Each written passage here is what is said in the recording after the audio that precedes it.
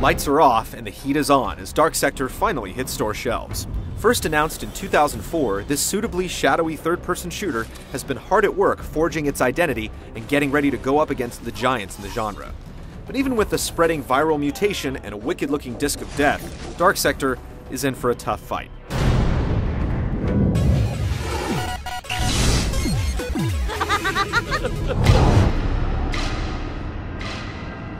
CIA agent Hayden Tenno has been sent into the heart of eastern Euro hellhole Lasria, where there's a rogue agent to be eliminated and a deadly bioplague turning the populace into mutated freak beasts.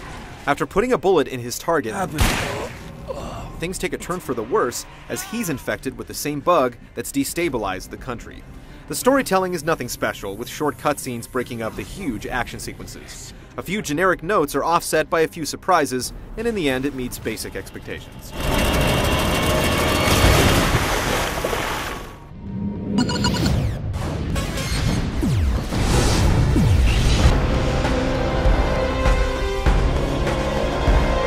Dark Sector has enough of an identity to be considered an original title, but there's no denying there are a few clear influences. The gunplay, crate busting, and black market merchant all scream Resident Evil 4, while the heavy feel to character movement and cover system feels very Gears of War. You do have a bladed boomerang, the glaive, that grows out of your hand. You can even steer it in slow motion into body parts of enemies using the 6 axis controls on the PlayStation 3. Kinda like the arrows in Heavenly Sword.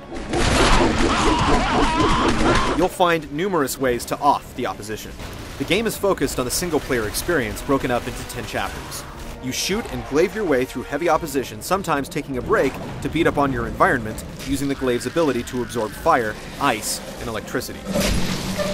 Larger enemies like plus-sized mutants and soldiers in mechanized suits fill the boss and mini-boss roles with varying degrees of success. Hayden grows more powerful as the game progresses, and he'll find money to spend on weapons at the black market and snag metallic cases which hold weapon upgrades you can apply using a very basic power-up system. On the other hand, or the other arm, your infection gradually spreads, giving you access to new abilities which help you survive against increasingly angry biofreaks. One of the first is the Power Throw, which, with the proper timing, makes your glaive both deadlier and more satisfying to use. Dark Sector also features a multiplayer component that pits man against a mutant. With limited map selection and only two modes, it's clear that multiplayer isn't the primary focus. It doesn't quite have the depth or balance to give it long term legs, but it's good enough to help bolster the 10 hour single player experience. The first mode puts everyone up against one superpowered mutant player. Take out the threat, and the powers are yours when the hunt is on again next round. Unfortunately, too many players can easily wreck the fun.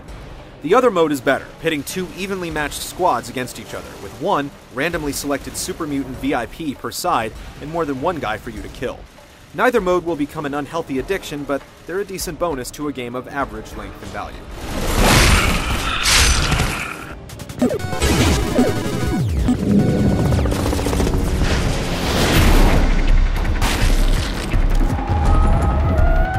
Before he had an infected arm and mutant superpowers, Hayden Tenno killed guys with guns. Now he has a bladed weapon growing out of his hand, so he uses that too. Dark Sector is a level by level gauntlet of enemies and doors leading to more enemies. The assault never lets up, and the correct way to proceed always involves taking out every last person or thing standing in your way. There are a few puzzles that have you charge your glaive with the appropriate power to shock, burn, or freeze your way through obstacles, and a couple of vehicle sections where you'll control a walking tank but the level of variety is pretty low. Fortunately, multiple ways of mutilating your enemies will keep you entertained. You can use the glaive in conjunction with a handheld weapon like a pistol, but if you're unloading on enemies with a two handed gun like a shotgun or assault rifle and have the urge to play Death Frisbee, you'll have to wait a couple of seconds for the switch.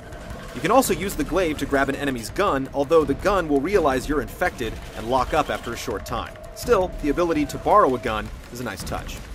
You also have access to a close quarters attack, which is disappointingly weak unless you've already weakened an opponent, in which case you can perform a brutal finisher. Still, you'll have no choice but to take on bad guys at range. You'll often find yourself just far enough away that your glaive won't reach, and since you rarely get a chance to swap out your weapons, you can carry one handheld and one bigger weapon at any time, you can find yourself with limited options. Getting close becomes a viable option later in the game when you have access to a bubble shield and several seconds of inviso power for stealthy movement, which lets you move to a new position and allows for burly surprise kills. One of your last mutations lets you charge your glaive with energy and then blow it up for an area attack. It takes a while for the gameplay to open up, and because of your character's overall slow speed and deliberate turning, it can take a while to get into the swing of combat. Once you do, though, the combat can definitely be rewarding. Just hope you don't run into too many glitches. We certainly did.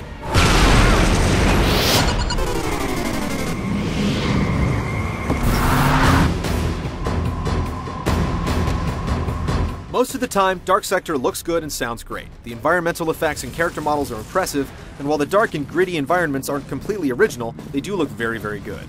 The sound design on the game is also good, with solid sound effects for headshots that make the combat feel visceral and maybe a little sickening.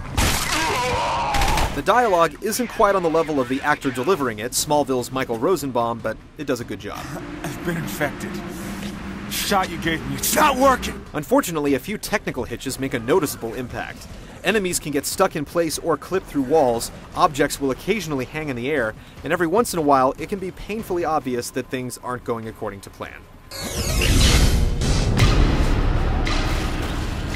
Dark Sector goes for gore and glory, but does better spattering blood than it does applying polish. Despite a number of original elements and a fairly solid gameplay core, the game isn't able to add substantially to the formula and mechanics it's borrowed from other games in the genre. You could call Dark Sector just another shooter with a few annoying technical issues, and though it doesn't qualify as a must play, you'll be rewarded for shining some light into its dark world.